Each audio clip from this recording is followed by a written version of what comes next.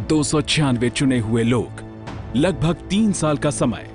बारह सत्र, एक बैठकें। इस खास कार्यक्रम हमारा संविधान में, भारत के संविधान का हर पहलू आपके सामने रखेगा।